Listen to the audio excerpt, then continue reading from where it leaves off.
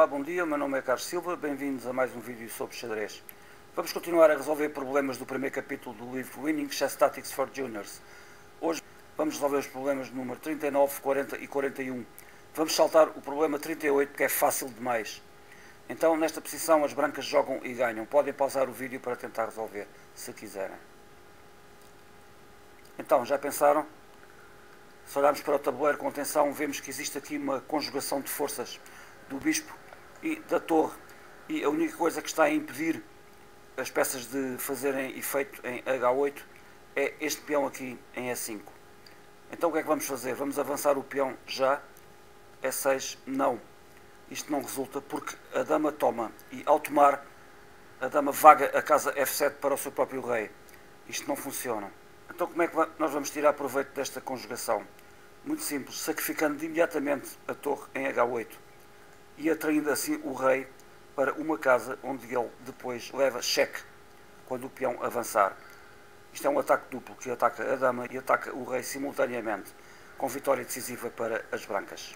Aqui, se o rei não quiser aceitar o torre e jogar rei para G7, ainda é pior, porque o cheque E6 funciona da mesma forma e as brancas preservam a torre.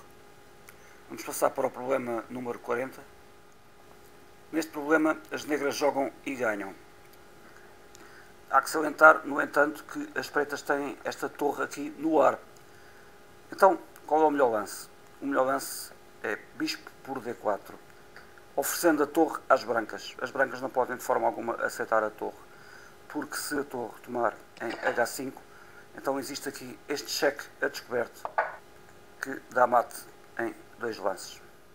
Vamos então para o terceiro problema deste vídeo, problema número 41. Brancas jogam e ganham. Podem pausar o vídeo agora. Bem, se vocês simplesmente decidiram tomar o cavalo em D2 de rei ou de dama, este lance apenas iguala a posição. Então o que é que será que ganha? Bem, temos que ver que a diagonal do rei negro está muito fragilizada. Então o que ganha é este cheque aqui. Bispo para H5 cheque. As negras não têm outra resposta se não tapar o cheque com G6. Só que agora as brancas podem sacrificar o cavalo em G6. O cavalo não pode ser aceito, porque se o peão tomar o cavalo, então bispo por G6 é mate. Então depois de cavalo por G6, a melhor resposta das pretas seria cavalo para F6, mas depois segue-se esta sequência forçada.